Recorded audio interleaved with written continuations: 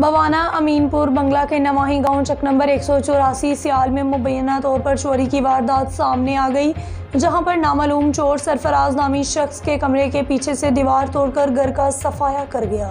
امین پور بنگلہ کے نواہی گاؤں چک نمبر ایک سو چوراسی سیال میں مبینہ طور پر گھر کا صفایا کر گئے نامعلوم چور، سرفراز نامی شخص کے کمرے کی پیچھے سے دیوار توڑ کر اندر داخل ہوئے ستر ہزار روپے اور ایک تولا سونا اور سامان لے اڑے۔ اس کے علاوہ گھر کا سارا سامان اتھل پتھل کر دیا۔ سرفراز کا کہنا ہے کہ وہ محنت مزدوری کرتا ہے۔ بڑی مشکلوں کے بعد اس نے پیسے اور سونا جمع کیا، جو چور لے گئے۔ اطلاع ملنے پر چوکی منگوانا پولیس موقع پر پہنچ گئی۔ سرفراز نے آر پی او، فیصل آباد ڈی پی او چنور سے چوروں کے خلاف خلاف فوری کاروائی کا مطالبہ کیا تاکہ ان کو انصاف فراہم کیا جا سکے۔ رپورٹ کر رہے تھے حافظ مہر رحمت اللہ، گریٹ نیوز، بوانا۔